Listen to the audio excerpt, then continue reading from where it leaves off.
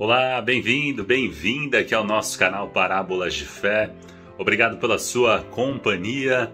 Não se esqueça de se inscrever no canal e ativar o sininho. E que Deus abençoe muito a sua vida, abençoe toda a sua família. Salve Maria Imaculada! E vamos então agora acompanhar o Santo Evangelho de hoje comentado. Antes, nos colocando na presença de Deus, rezando. Meu Senhor e meu Deus, creio firmemente que estás aqui, que me vês, que me ouves. Adoro-te com profunda reverência. Peço-te perdão dos meus pecados e graça para fazer com fruto este tempo de oração.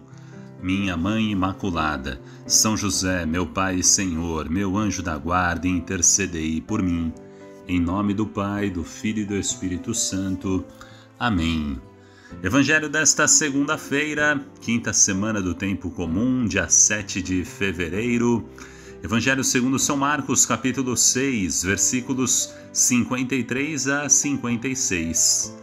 Naquele tempo, tendo Jesus e seus discípulos acabado de atravessar o mar da Galileia, chegaram a Genezaré e amarraram a barca Logo que desceram da barca, as pessoas imediatamente reconheceram Jesus.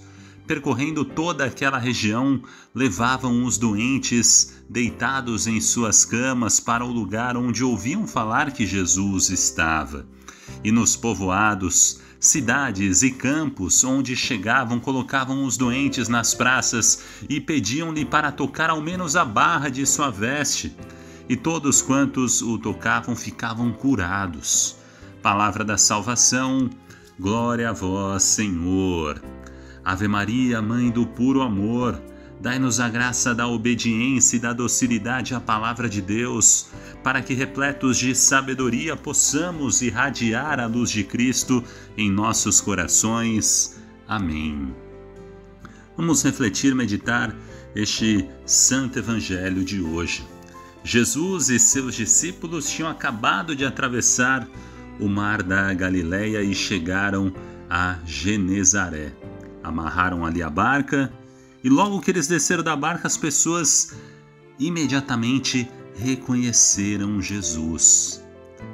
Que a gente possa ter esta sensibilidade, esta fé para reconhecer a presença de Jesus no nosso dia a dia nas pequenas coisas do nosso dia, de uma pessoa que se aproxima de nós, de um enfermo, uma pessoa que precisa de uma palavra, de uma pessoa que precisa que a gente a escute, de uma pessoa que está ali com apenas um sorriso, um bom dia, um boa tarde, um boa noite. Nas pequenas atitudes, podemos ser presença de Jesus e podemos fazer com que as pessoas reconheçam Jesus em nós, no nosso coração.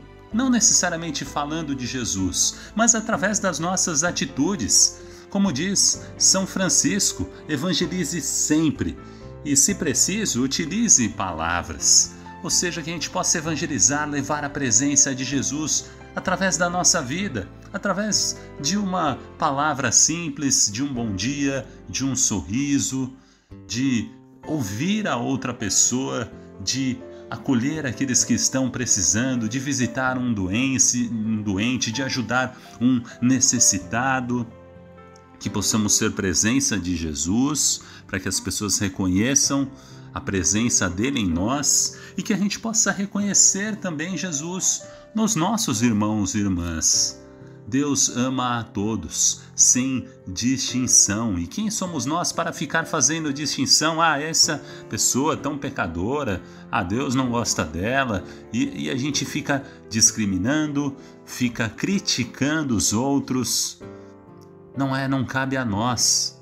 Nós temos que viver o amor, o amor caritas, o amor esse amor que é um amor que Deus tem por nós, um amor que deseja a nossa salvação, que deseja o céu, e é isso que nós temos que ter com o nosso próximo, não ficar condenando os outros, mas rezar uns pelos outros, rezar por aqueles que nos perseguem, rezar por aqueles que estão afastados de Deus, rezar por aqueles que você olha e fala: Ih, esse daí não tem mais jeito, está tão envolvido já no erro, no pecado que não tem mais solução.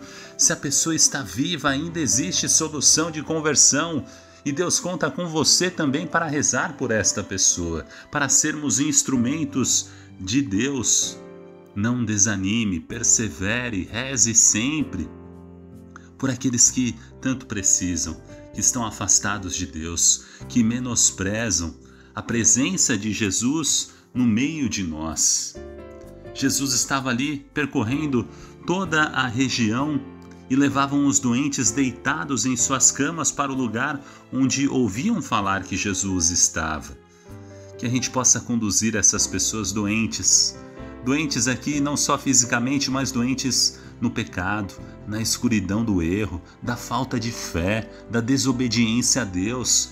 Levar essas pessoas à presença de Jesus. Todos que estão já deitados, simbolizando também aqueles que já nem se levantam para para a fé, para seguir Jesus, ou seja, já estão paralisados em sua fé, já estão abandonados, deixados abandonados à margem da fé, que a gente possa trazê-los de volta a, ao que é principal na nossa vida, que é o centro da nossa vida, que deve ser Jesus.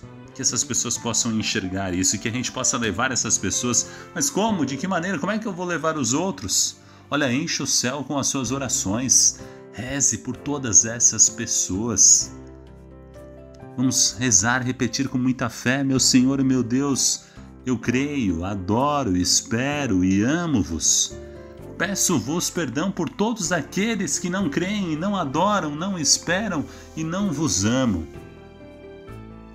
Quantas pessoas que estão vivendo na escuridão e o pior de tudo, ainda acham que estão certas, que hum, elas não precisam de Deus, Deus conta com as nossas orações, conta com cada um de nós para sermos seus instrumentos, para que as pessoas reconheçam a presença de Jesus em nós. Vamos interceder, esse evangelho também mostra que nós temos que interceder, rezar uns pelos outros.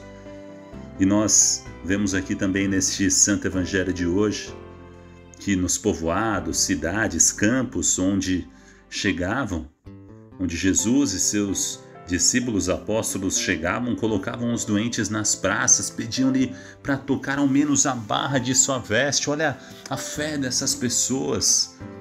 Uma fé firme, humilde. Eu quero apenas tocar a barra da sua veste. E todos quantos o tocavam ficavam curados. Que a gente possa enxergar hoje que a gente pode tocar o Senhor, tocar o Senhor na Sua palavra tocar o Senhor na oração e, acima de tudo, esse toque que o Senhor pode tocar o nosso coração, o nosso interior, através da sagrada Eucaristia. Vamos dar o devido valor à sagrada Eucaristia, à comunhão, buscar o Senhor Jesus Eucarístico que nos toca e nos cura sempre. É uma cura que é tão lenta que a gente nem percebe, mas a gente, Jesus que vai nos curando interiormente, a gente vai crescendo em nossa fé, crescendo de degrau em degrau para sermos santos. Não somos ainda, estamos no caminho, mas Deus quer que a gente seja santo. Mas para isso a gente tem que se deixar ser tocado diariamente na Eucaristia, na palavra, na oração e o Jesus, esse Deus que quer tocar cada um de nós porque sabe que é para o nosso bem, para a nossa salvação, para sermos santos. Então, que a partir desse Santo Evangelho de hoje a gente possa enxergar esse valor do toque de Jesus através da Eucaristia. Se as pessoas soubessem o, o, valor da Eucaristia, esse tesouro de valor assim incomparável no mundo, as igrejas estariam lotadas, estariam teriam que aumentá-las cada dia mais, teriam filas e filas nas igrejas. Mas infelizmente, muitas pessoas ainda não enxergaram e não reconheceram este valor. E cabe a nós nós que enxergamos, que vemos, que a gente possa ser instrumentos de Deus e rezar por todos que estão afastados. Obrigado fé. pela sua companhia neste vídeo. Se este conteúdo te agradou, deixe um joinha, um like aqui no YouTube, o seu comentário e se inscreva no nosso canal Parábolas de Fé. Aproveito e coloco aqui na tela também uma sugestão de vídeo para você clicar e assistir. Deus abençoe. Salve Maria Imaculada.